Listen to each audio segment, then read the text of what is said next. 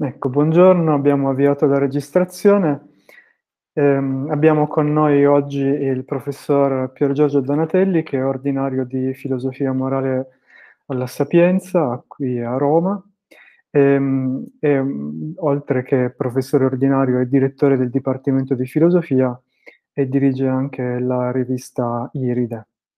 Eh, il professor Donatelli ha pubblicato su moltissimi temi della, della filosofia morale sia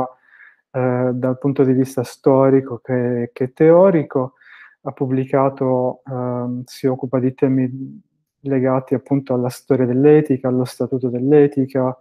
eh, questioni della soggettività, delle forme di vita, e sempre con editori molto, molto prestigiosi, Mulino, La Terza e Inaudi.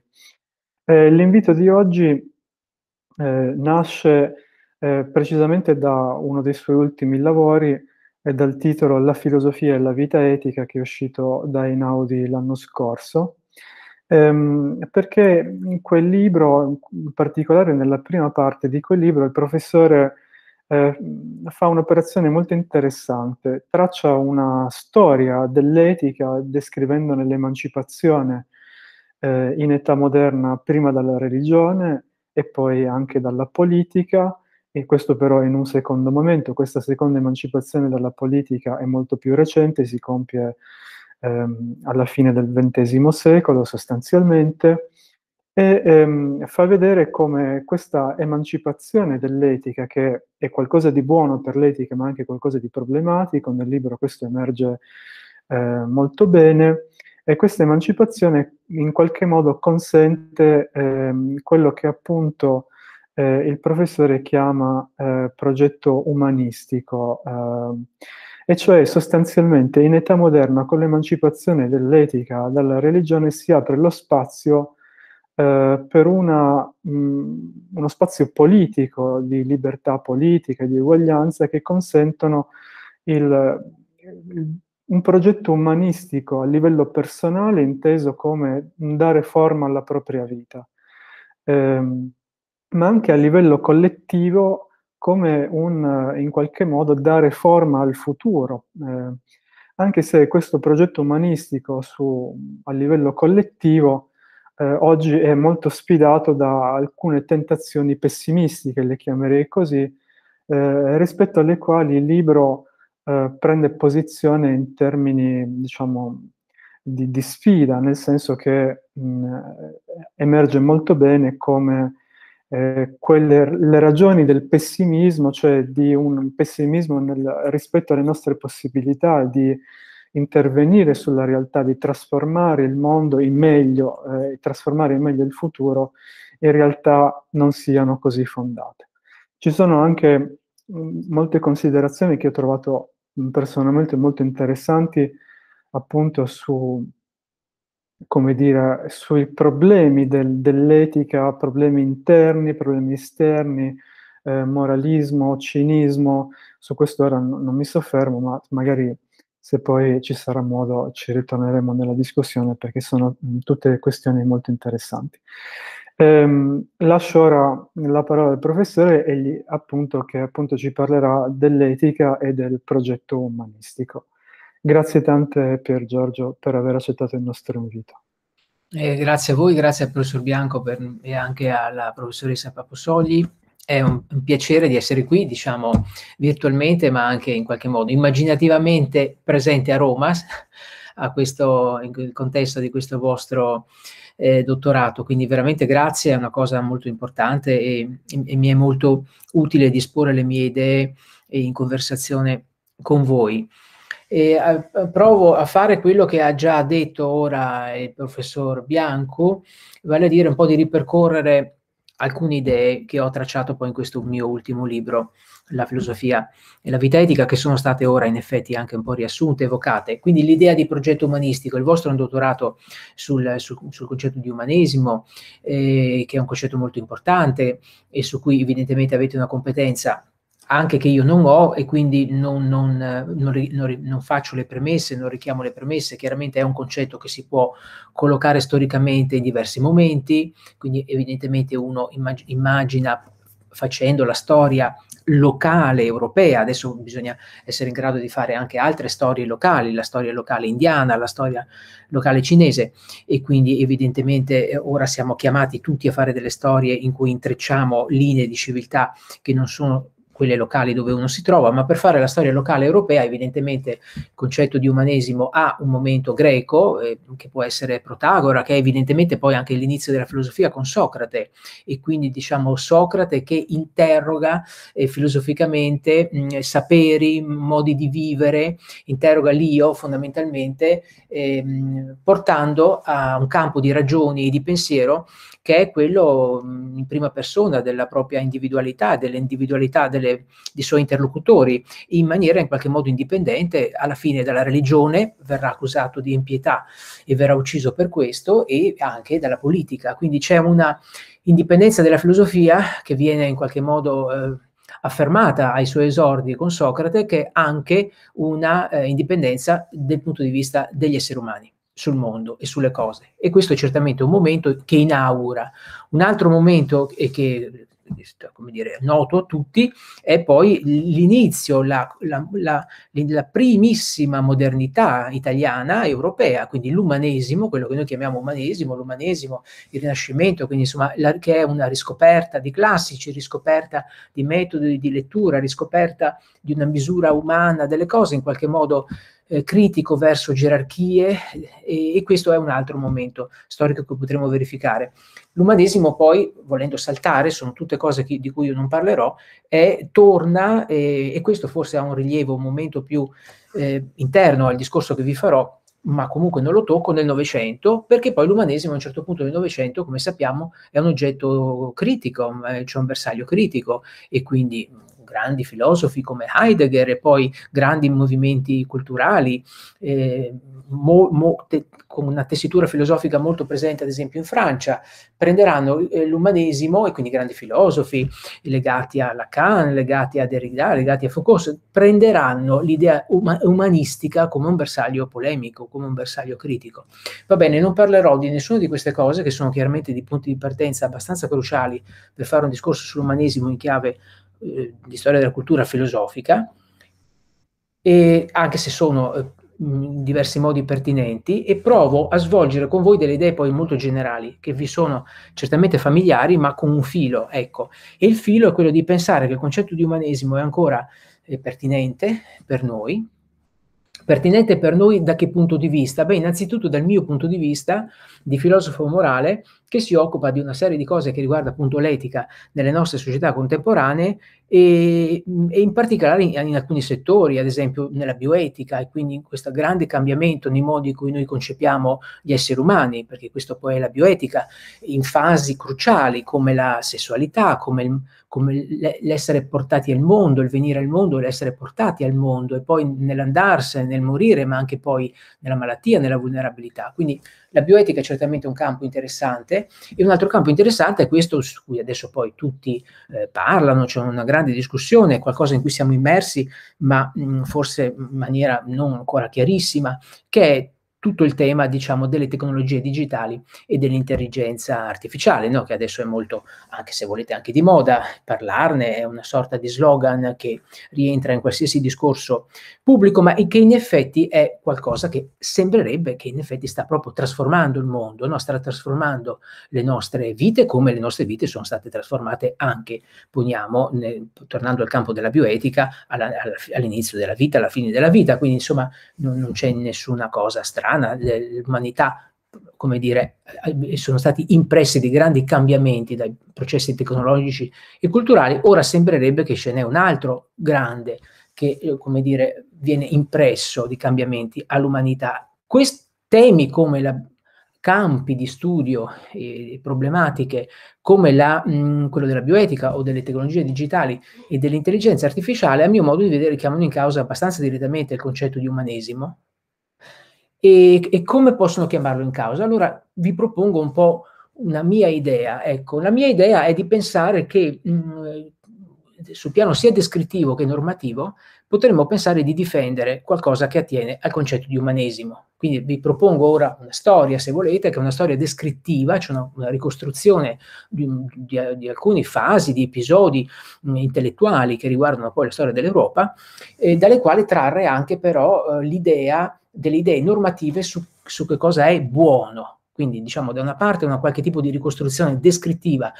una ricostruzione di come sono andate le cose, e dall'altra una proposta normativa di quello che effettivamente è eh, una situazione buona per gli esseri umani. A mio modo di vedere, diciamo, nella, nella modernità, non forse nella prima modernità del 4 del 500, ma della, della modernità che inaugura l'etica e la politica moderna, cioè dal 600 in poi, emerge quello che io vorrei chiamare progetto umanistico che sono poi i grandi classici della filosofia morale e politica che, che tutti conosciamo, che sono stati tematizzati da, in tantissime diciamo, prospettive, che sono Hobbes, che sono Locke, che sono Rousseau, che sono Hume, che sono Kant, e poi arrivando all'Ottocento John Stuart Mill. Quindi insomma i grandi diciamo, classici del pensiero morale e politico, il 600 e il 700 sono chiamati i cosiddetti secoli d'oro del pensiero morale perché ci sono delle teste, delle elaborazioni intellettuali raffinatissime che sono ancora per noi fondamentali per pensare all'etica e alla politica oggi. Benissimo, allora noi potremo provare a tornare a questi autori che documentano un percorso anche, diciamo, di evoluzione storica di idee intellettuali che riguardano il progetto umanistico e pensare di ricavare anche un'idea di progetto umanistico che possiamo provare a difendere. Quindi queste due cose vorrei provare a fare. Quindi io personalmente penso che noi abbiamo sempre per fare delle premesse, eh, noi abbiamo mh, mm, in qualche modo maturato un'idea di progetto umanistico eh, che potremo provare a difendere. È un'idea eh, di fatto recente, anche se affonda le sue radici in tante storie di più lunga durata, è un'idea recente che potremo provare a difendere e che in effetti se non difendiamo potremo anche perderla. E in effetti poi anche nel mercato, per usare un'espressione forse un po' volgare, delle idee e delle sperimentazioni politiche globali, è un'idea che potrebbe anche poi ehm, avere la peggio e quindi potremmo anche perdere questa idea di progetto umanistico rispetto a esperimenti culturali e politici che non hanno a che fare con l'idea di progetto umanistico. Che cosa intendo? Quindi diciamo di, presentiamola con progetto umanistico. Allora, veniva ora detto da Stefano, che lo aveva già un po' presentato, eh, è, diamo una specie di definizione, pensare alla società e alla vita individuale come un progetto. Cominciamo così, possiamo pensare alla società come eh, il risultato di un progetto umano dove c'è un investimento intellettuale e ovviamente pratico. Quindi la società come frutto di un progetto umano da una parte e dall'altra la vita umana la propria diciamo, vita che scorre no? dalla nascita fino alla morte, la, vi- la, nostra vita che scorre come il risultato di un progetto inventivo e- ed ugualmente inventivo e creativo. Allora queste due idee, eh, la società come progetto e la vita umana come progetto, eh, nascono a un certo punto, ora provo a dare delle idee, eh, si, si, intrecciano e le possiamo mettere insieme un po' più avanti, probabilmente le mettiamo insieme quando nasce una qualche idea di democrazia, ed è questa idea di progetto democratico che riguarda la vita individuale e la vita sociale, che penso che sia una, un'acquisizione importante e che quindi possiamo ricostruire, ripeto, storicamente, facendo una ricostruzione descrittiva e possiamo anche provare a difendere normativamente come un'idea buona per gli esseri umani. E che quindi ha dei competitor, evidentemente, avrà qualcuno che poi non, non vuole difenderla. Su, su, nel campo, nell'arena della discussione normativa di ciò che è buono per gli esseri umani. Eh, se, se, nella ricostruzione che do io, che naturalmente è molto parziale, molto limitata, si potrebbe pensare eh, di, di, diciamo che eh, quindi diciamo non facendo riferimento ai vari diciamo, episodi storici con cui sono partito, che forse eh, nell'esordio dell'etica morale e politica moderna è la società come frutto di un progetto la prima idea che viene in qualche modo elaborata. E forse Hobbes, Thomas Hobbes, siamo nel, nella, nella, nella, nel 600, nella metà, nella metà, del 600, questo 600 inglese burrascoso, fatto di rivoluzioni, di, di Cromwell, di, di, di, teste tagliate, di instabilità politica e di, e guerra di religione fondamentalmente, di grande instabilità fondata anche sul cristianesimo che non è più un momento unificante, stabilizzante della società, ma è invece un momento di, di, di visione, di lotta e di, e di terrore e di, e, e di teste tagliate per la strada, in quel 600 turbolento eh, inglese, eh, Thomas Hobbes poi ci dà un'idea della società che poi è molto influente e che viene ripresa un po' da tutti, anche se in modi eh, molto diversi, in genere anche criticandolo eh, direttamente. Cioè ci, ci dà l'idea, attraverso l'idea di contratto sociale, che le istituzioni che eh, fondamentalmente con, eh, reggono la società e la conservano come un luogo pacifico dove è possibile lo, lo sviluppo delle facoltà individuali, eh, sono il risultato appunto di un progetto. Sono il risultato di un piano degli individui a partire da schemi intellettuali eh, che vengono poi realizzati. Quindi l'idea di contratto sociale, che è, un, che è l'idea più influente della teoria politica nel 600 e nel 700, e, e che quindi poi ritroviamo a parte Hume in tutti i classici del 600 e 700, poi l'idea di contratto sociale è l'idea di Hobbes, è l'idea di Locke, è l'idea di Rousseau ed è l'idea di Kant, benissimo, l'idea di contratto sociale è un'idea che possiamo rappresentare attraverso questa idea che vi propongo di progetto umanistico, vale a dire pensare alla società come costruita dagli esseri umani, quindi qual è l'immagine? Gli esseri umani non hanno governo, non hanno istituzioni, sta, sono nello stato di natura, lo stato di natura è definito proprio come il luogo dove non ci sono istituzioni politiche, dove gli esseri umani abitano senza istituzioni politiche, eh, non avendo le istituzioni politiche sono esposti a tutta una serie di rischi perché hanno bisogno di cooperare e non sanno come farlo. E il contratto sociale è l'idea di co- consensualmente, a partire dalla ragione di ciascuno, di questi individui che stanno nello stato di natura, costruire le istituzioni che gli consentiranno di cooperare e di creare quella che Thomas Hobbes chiama la società civile, il Commonwealth, dove la cooperazione è resa possibile in particolare da Hobbes dall'esistenza appunto di istituzioni politiche, di un sovrano e di leggi positive. Ora è un momento secondario che il sovrano che descrive Hobbes per i nostri gusti contemporanei sia abbastanza assolutistico e, e, e certamente non sia democratico. Il punto fondamentale è che le istituzioni politiche che generano per Hobbes quella che lui chiama la misura comune e quindi la possibilità anche di, del linguaggio come un modo sincero di esprimere le proprie intenzioni di comunicare tra gli esseri umani, di conoscere la natura e di avere la, la, ricerca scientifica, evidentemente anche di fare dei patti, degli accordi e quindi di stringersi la mano e di rispettare le promesse, tutto questo che riguarda la vita pratica, la vita scientifica e la, e la, e la stessa co- comunità di, di, un, di un linguaggio in cui si appunto condivide l'umanità, tutto ciò per Thomas Hobbes, con un artificialismo molto acceso, molto spinto, è creato dal contratto sociale. È il frutto di un eh, meccanismo di pattuizione consensuale che si realizza nello stato di natura. Allora, questa è un'immagine fortissima che poi si può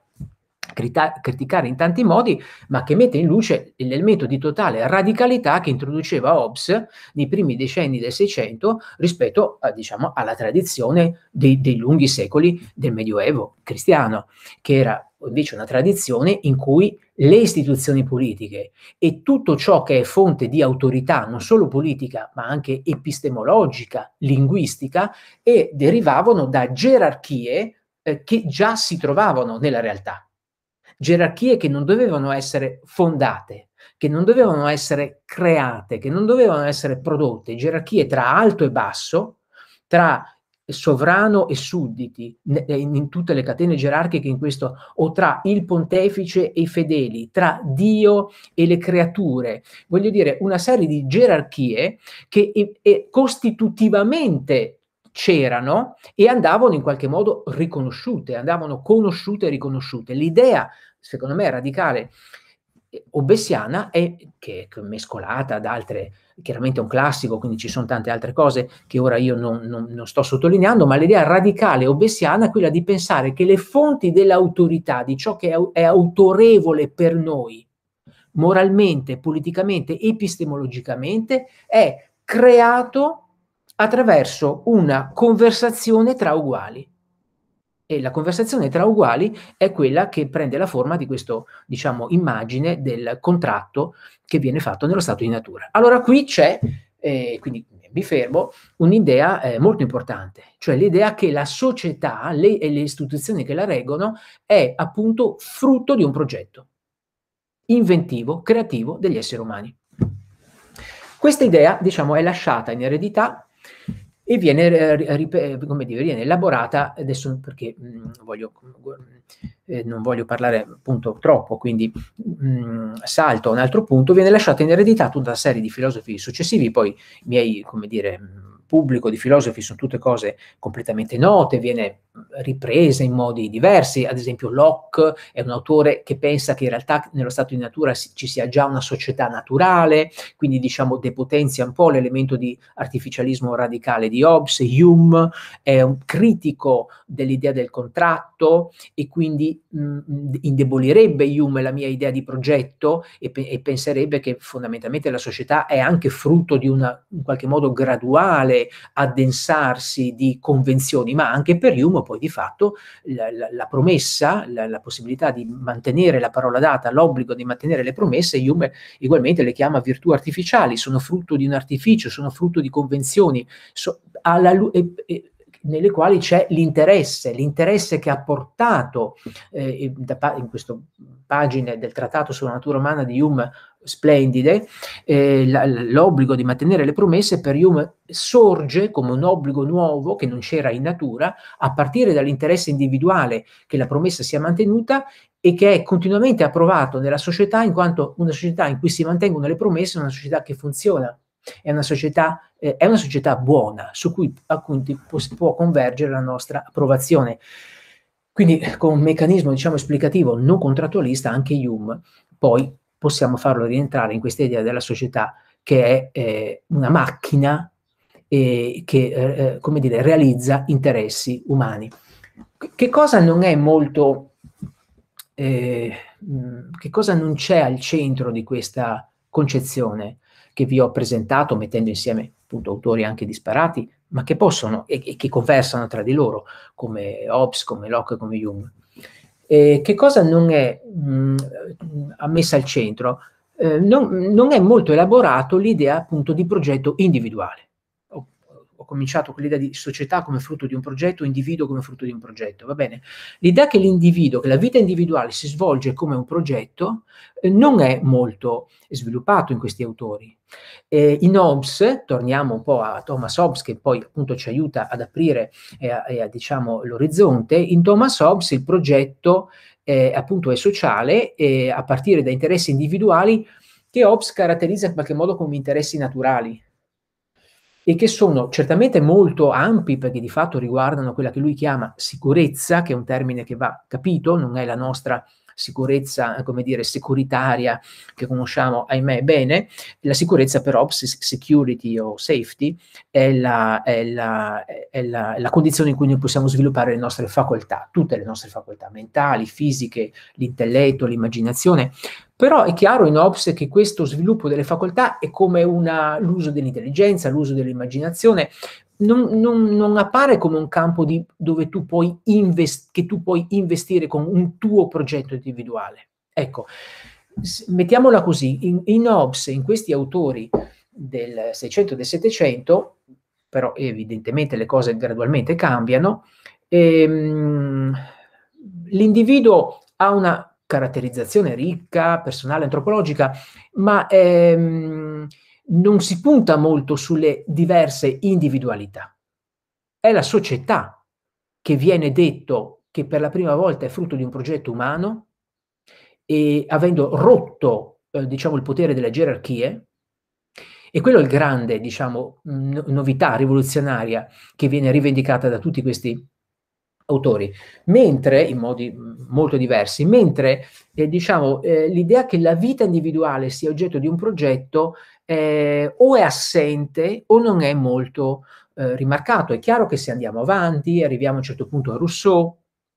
e siamo nella metà del Settecento, è coevo, è coetaneo con Hume, eh, Rousseau è un autore dove eh, si sente questo incipiente romanticismo e quindi evidentemente noi possiamo eh, trovare in Rousseau delle tracce di una um, ricerca di una individualità eh, che in qualche modo è messa a repentaglio dalla società e che quindi va in qualche modo scoperta, ritrovata nella solitudine, nell'incontro con la natura. Insomma, Rousseau è certamente un autore che bisognerebbe leggere per tro- cominciare a trovare queste tracce di individualità, ma queste tracce di individualità, a mio modo di vedere, mh, emergono dopo. Emergono dopo, un po' dopo, a dire la verità, ed emergono con quello che possiamo chiamare romanticismo,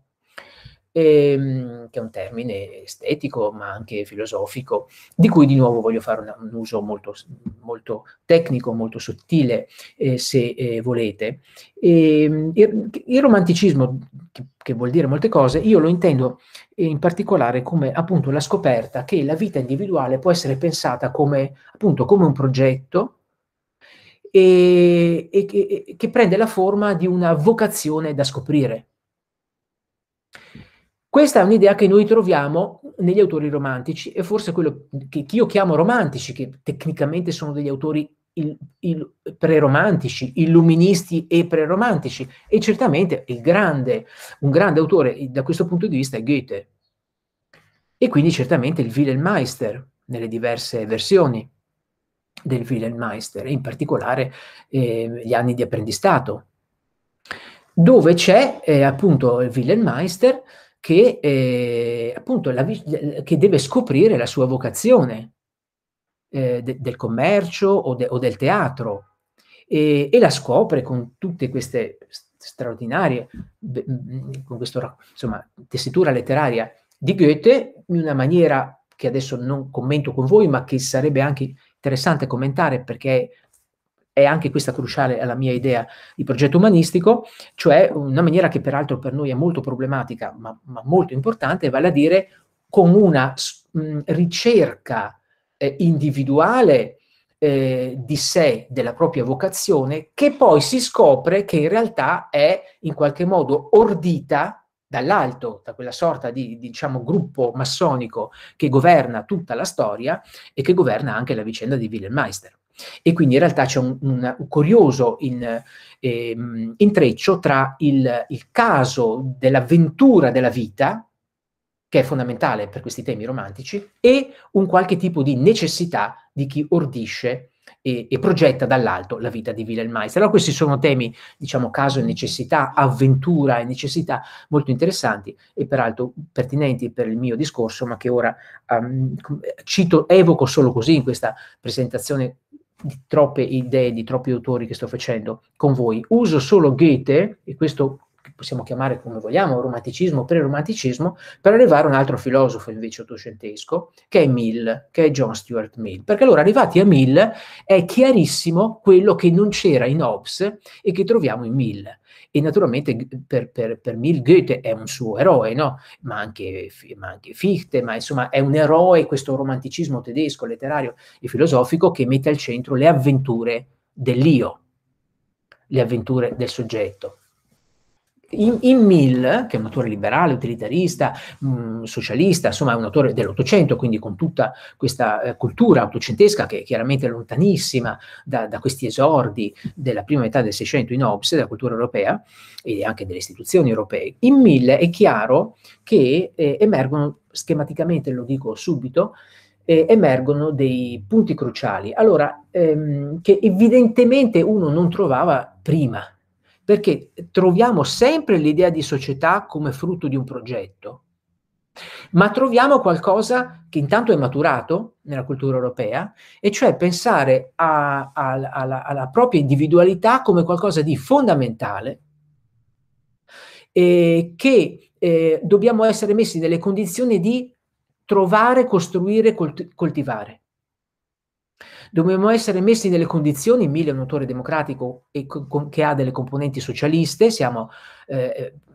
come dire, siamo poi negli anni 50, quando scrive La libertà siamo nel 1859, quindi sono gli anni 50, quindi c'è, c'è il socialismo in particolare, diciamo, sindacale, che è quello con cui lui è in contatto nel, in Gran Bretagna, mentre non cita mai, non ha, non, curiosamente non appare mai nei suoi scritti Marx, che pure era a Londra in quegli anni, ehm, e, e ci sono le istituzioni eh, democratiche, in particolare la riforma, eh, le, le, grandi riforme che, diciamo, che sono sul sul piatto della Gran Bretagna in quegli anni che riguardano i poli, riguardano l'Irlanda, riguardano il metodo elettorale, riguardano molte cose a cui Mill si dedica e anche deputato in una legislatura nel Parlamento, evidentemente della Camera Bassa. Allora, che cosa troviamo in, in Mill? Troviamo l'idea appunto di mettere nelle condizioni la società come un luogo che mette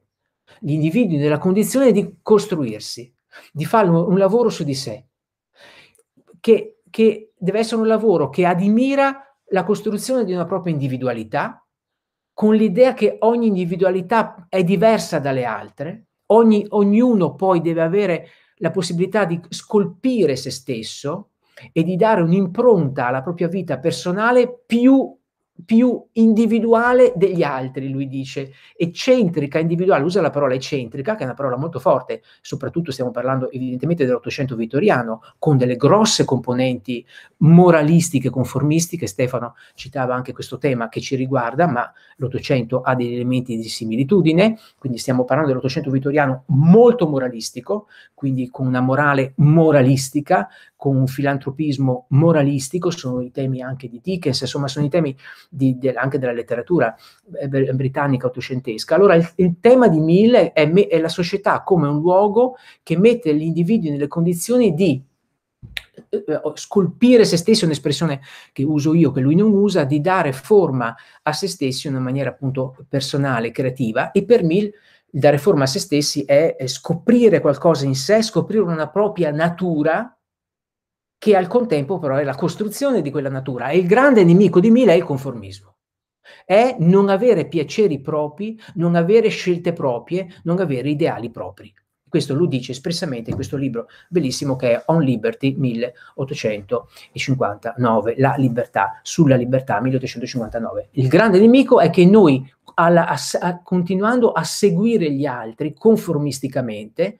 eh, non abbiamo più, dice Mill, nostre scelte, nostri piaceri, nostri ideali. Qual è la, la, la situazione ideale che lui immagina? Quella di individui che scolpiscono se stesso in un contesto in cui si espongono allo sguardo degli altri, all'osservazione degli altri e quindi possono costituire un esempio per gli altri, un esempio negati- positivo o un esempio negativo, evidentemente. Quindi in una sorta di agonistica emulazione che è stata giustamente anche paragonata a qualcosa che troviamo forse già in Grecia, questa cosa di esporsi agonisticamente eh, per eh, qualcosa che probabilmente riguarda già la democrazia greca, ma in alcuni suoi momenti, ma comunque sia è l'idea appunto di una individualità in cui ciascuno di noi porta la responsabilità di essere esempio per gli altri quindi chiaramente non è un individualismo separatista, atomistico, non solo perché Mill pensa che ci devono essere delle istituzioni democratiche che consentono a tutti di dare forma alla propria vita, ma anche perché il dare forma alla propria vita è un fatto fondamentalmente relazionale. Dobbiamo essere completamente individui, ma anche avere la forza, la capacità di esporre chi siamo agli altri e di essere quindi un esempio. Un esempio che quindi funziona come, dice Mill, esperimento, experiments in living, questa è la sua espressione, cioè trattare la propria vita come, ho detto, un progetto, ma anche come un esperimento, come un'avventura e quindi sperimentarla e, e dare anche agli altri diciamo, degli esempi su come potrebbero trattare la propria vita come in maniera personale. Quindi, allora, molte cose ci sono da dire, ma arrivati a Mill abbiamo eh, che cosa? La società che è frutto di un progetto, la quale deve mettere in condizione le persone evidentemente di stare bene, di essere pacifiche, però Mill dice questa l'abbiamo in qualche modo acquisita, è ovvio, non la dobbiamo ri- ridifendere di nuovo, è ovvio che noi abbiamo bisogno di una società civile in cui le persone non si ammazzano per strada, in cui c'è la legge, c'è una giustizia, e c'è un obbligo politico eh, acquisito e che quindi diciamo ci sono istituzioni civili. Questo è ovvio, dice Mill, però dobbiamo fare qualcosa in più, dobbiamo eh, avere una società nella quale ciascuno è libero di costruire se stesso, quindi portare questa idea di progetto non solo sulla società ma sull'individuo, su tutta la propria vita. E Mill comincia a radicalizzare la questione, perché ad esempio comincia a parlare eh, della famiglia. E allora dice, ma guarda che la famiglia è organizzata in maniera tale in cui non c'è la costruzione dell'io, o meglio, uno solo ce l'ha, il pater familias, le donne non ce l'hanno. E la prole è educata alla diseguaglianza dei generi. E quindi questo concetto di famiglia non va bene, va completamente revisionato, perché le, e c'è tutto quindi il mill, diciamo, a, delle donne assieme alla compagna e poi moglie Harriet Taylor, che è una fonte di, di scrittura e di elaborazione intellettuale fondamentale per John Stuart Mill. Quindi, oppure la, la riproduzione e la procreazione, non possiamo mettere al mondo i bambini pensando che sia una cosa semplicemente di natura, è un fatto di nuovo di, di progetto e di responsabilità. Quindi lui comincia a toccare una serie di materie che magari adesso potremo chiamare eh, che riguardano la bioetica. Allora, ultimo punto, per non parlare troppo. Allora qui abbiamo diciamo delle idee, proviamo a metterle in qualche tipo di schema eh, di schema. Abbiamo innanzitutto un'idea eh, di, di, trattare la società, idee che in qualche modo dovrebbero esserci familiari, perché nel frattempo si sono abbastanza depositate in un qualche tipo di sapore, sapere comune che riguarda le nostre, diciamo, società democratiche, con un noi eh, immaginativamente estendibile a, a, un, a, un, circuito di conversazione globale molto esteso. Ecco, perché poi le società democratiche, questo dico tra parentesi, sono nostre di nazioni democratiche, ma sono anche nostre di tutti coloro che ci vorrebbero far parte e che non hanno la fortuna di farci parte e che ci partecipano, eh, ci partecipano gu- guardandole nelle notizie, nelle serie televisive, nei film, magari volendo andarci e quindi emigrando. Quindi diciamo questo noi democratico io vorrei che fosse non un noi delimitato da confini di chi ha titolo di votare in una nazione democratica, ma è un noi immaginativo eh, di tutti coloro che partecipano di questa conversazione democratica globale. Che cosa abbiamo acquisito? Questa era una parentesi che chiudo ora. Che cosa abbiamo acquisito come eh, conoscenza tacita eh, nelle nostre società democratiche? Abbiamo acquisito appunto queste idee che provo a schematizzare, dicevo. Una, che la società è appunto un oggetto di progetto, e questo progetto eh, riguarda eh, certamente innanzitutto stando con Ops quella che lui chiama la sicurezza personale, vale a dire lo sviluppo delle eh, facoltà individuali che quindi devono essere da una parte non minacciate dalla violenza, cioè da quella che Hobbes chiamava la morte violenta dell'aggressore, e in positivo essere messi nelle condizioni di sviluppare tutte le proprie facoltà mentali e fisiche. Poi questa cosa si allarga, si allarga nel senso che con Mill eh, la vita individuale diventa progetto. Quindi le condizioni non sono semplicemente di usare l'immaginazione, la mente e le emozioni, ma di trattare la propria vita come un'avventura a cui possiamo provare a imprimere una direzione. La vita come sperimentazione, sperimentazione e avventura sono, termi, sono temi di Mill, sono temi di un altro grande filosofo democratico americano che si chiama John Dewey, e sono temi che poi riguardano anche il mio, se volete, micro, eh, micro prospettiva filosofica, micro per modo di dire, diciamo specifica prospettiva filosofica che è quella di Wittgenstein e, de- e dell'etica wittgensteiniana, ma questo e poi mh, mm, mi pare che Silvia eh, lavora su Murdoch, quindi diciamo quel, quel, idee che, che, sono a casa lì, cioè l'idea di sperimentazione di avventura sono idee che sono a casa lì. Quindi con Mill, ho aperto di nuovo, chiudo una parentesi, abbiamo l'idea di trattare la propria vita come un'avventura, come una sperimentazione a cui possiamo provare a dare una direzione. Con Mill abbiamo anche l'idea democratica. Allora, l'idea democratica che cos'è? Almeno un paio di idee. Da una parte l'idea di uguaglianza, cioè che tutti siano messi nelle condizioni di eh, dare, sperimentare e di trattare la propria vita come un'avventura, come una sperimentazione a cui imprimere una direzione. Questa è un'idea, ehm, perché l'idea di sperimentazione e di, e, di, e di avventura può anche essere senza democrazia,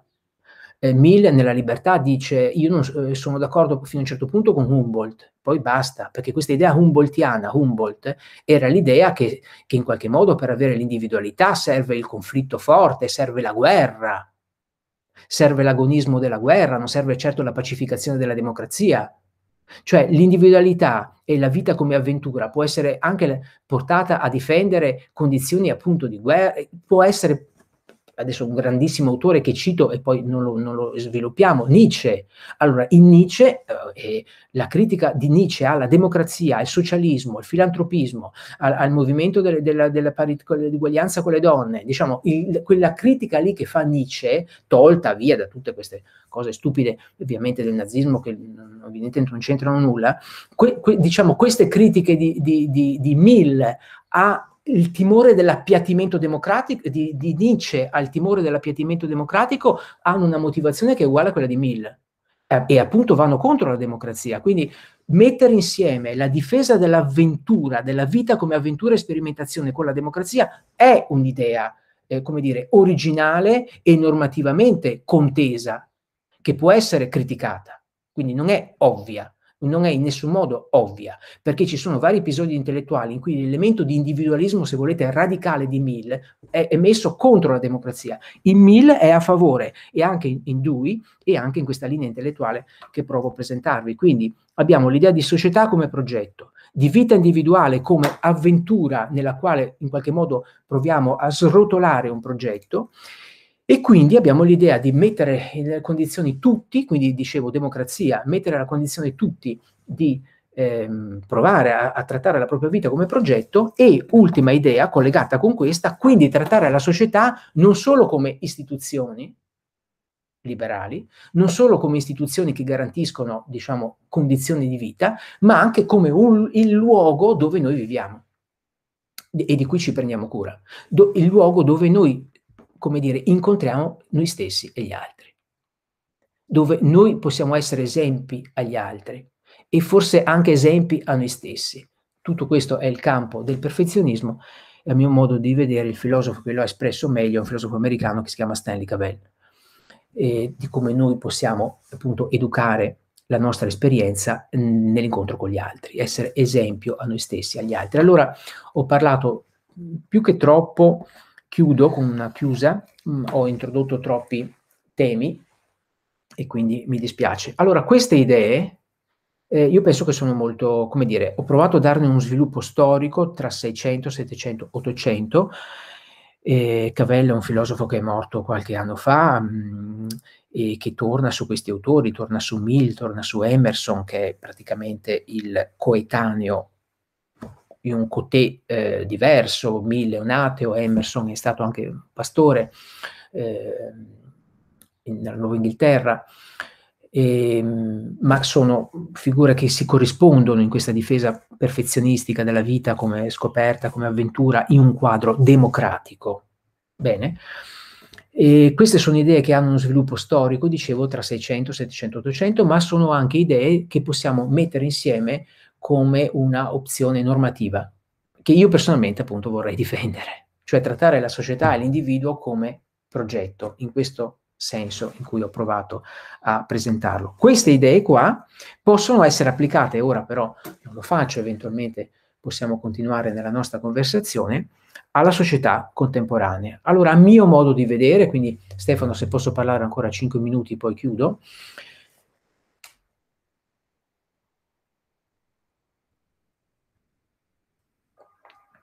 a mio modo di vedere,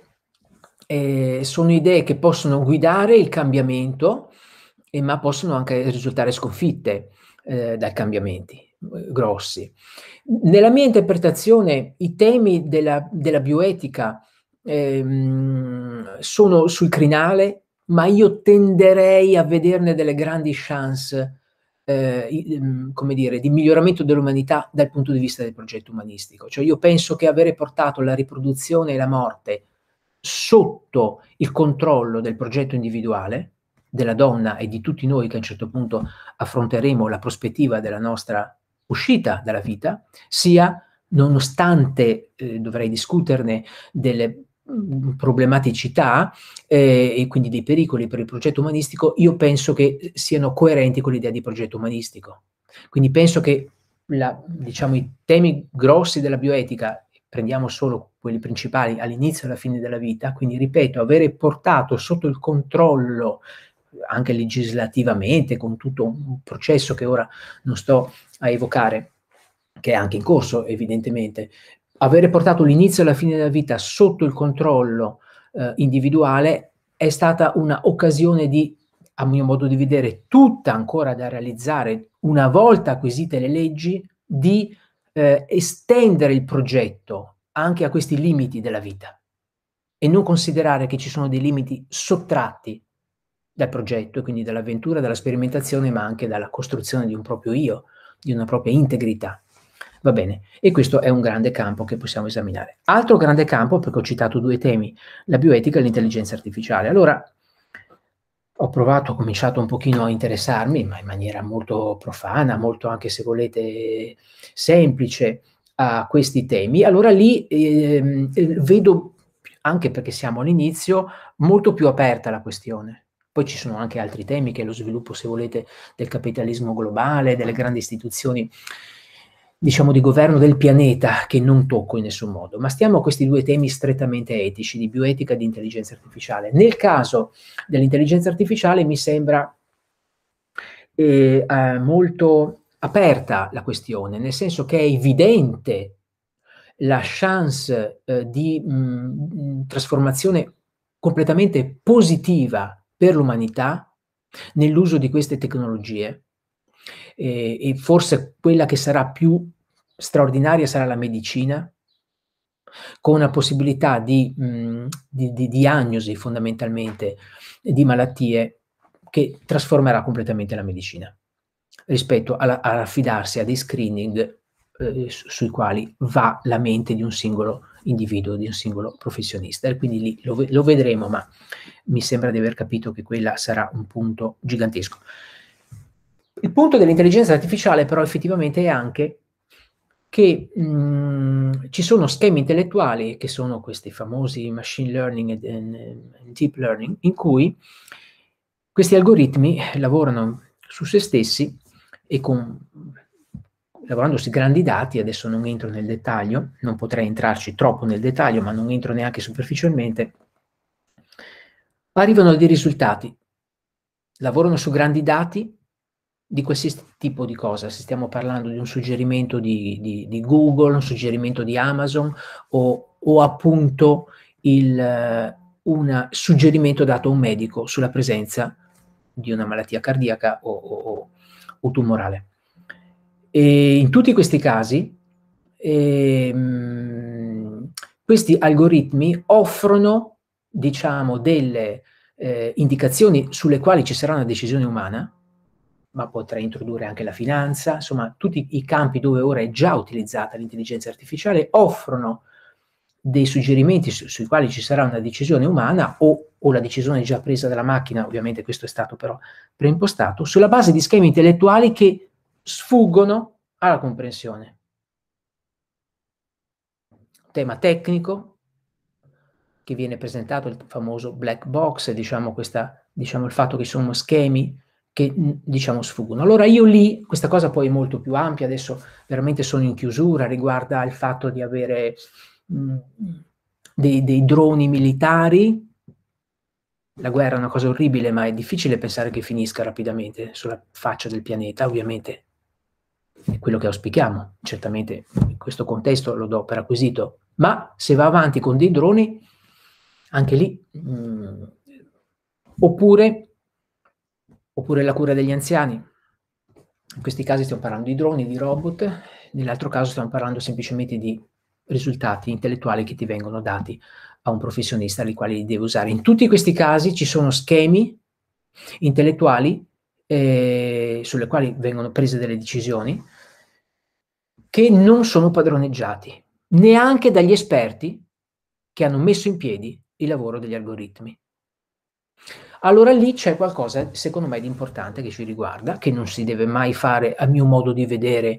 eh, in, in, in, termini mh, parossistici di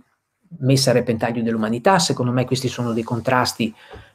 che per carità abbiamo visto col nazismo, eccetera, ma non, insomma, non bisogna abusarne. Ecco, ma effettivamente lì c'è da riflettere, nel senso che il progetto umanistico, e con questo chiudo perché ho veramente usato troppo la, il tempo e quindi chiudo, il progetto umanistico che vi ho descritto è fondamentalmente è molto ambizioso e quindi è anche criticabile, ma è molto ambizioso, è fondato sull'idea di elaborare schemi intellettuali alla luce dei quali controllare e imprimere una direzione alla società e agli individui. Schemi intellettuali che ci sono trasparenti perché li abbiamo elaborati noi. Questa è l'immagine semplice, semplice, che emerge nel Leviatano di Thomas Hobbes. Le istituzioni noi le conosceremo, conosceremo come funzioneranno perché le abbiamo elaborate noi. Noi abbiamo dato le istruzioni a questa macchina istituzionale. Ed ugualmente vogliamo pensare che la nostra vita, che è un'avventura in cui c'è caso, necessità che si intrecciano, e ugualmente le, noi le abbiamo dato una spinta, delle spinte, abbiamo realizzato delle svolte. Quindi che ci sono trasparenti questi, eh, questi cambiamenti, questi schemi intellettuali in base ai quali imprimiamo svolte e diamo spinte, ci sono trasparenti. Allora qui noi potremo trovarci nella situazione in cui queste diciamo, decisioni, forse poi naturalmente continuiamo a prenderle noi, insomma siamo, ovviamente questi sono strumenti, adesso l'intelligenza artificiale sono tutto insieme una congerie di strumenti, ma eh, fi, in qualche modo la, fi, con fiducia di schemi intellettuali che ci sono ignoti, allora io li vedo, diciamo, dei problemi, ecco, diciamo, perché il progetto umanistico è un progetto etico, un progetto democratico, ci sono grandi nazioni sul pianeta che non sono interessate al progetto umanistico come un progetto etico e democratico, e che sono innanzitutto la più grande nazione tecnologicamente avanzata che è la Cina, e e, e questo in, te, in, termini politici, diciamo, e in termini tecnici l'intelligenza artificiale è, un, è, è, è diciamo, il tipo di capitalismo che, che, la, che, la, che la, favorisce, ehm, potrebbe andare verso una direzione non tanto immediatamente non democratica, che sono anche di temi un po' troppo grandi, ma appunto di, di, di opacità e di perdita di quell'idea non ho mai usato la parola, ma ora la uso in chiusura, illuministica e romantica, di elaborazione di schemi intellettuali per dare una direzione alla società e dare una direzione alla propria vita. Se perdiamo, se andiamo nella direzione dell'opacità, io vedo effettivamente dei problemi, perlomeno per quel tipo di concezione normativa che vorrei difendere, cioè pensare che la nostra società e le nostre vite eh, funzioni l'immagine del progetto umanistico, che possono essere presate come un progetto eh, che, eh, che, va in una direzione che in qualche modo abbiamo impresso noi. E penso che a questo punto ho anche esaurito il mio tempo e termino qui, vi ringrazio.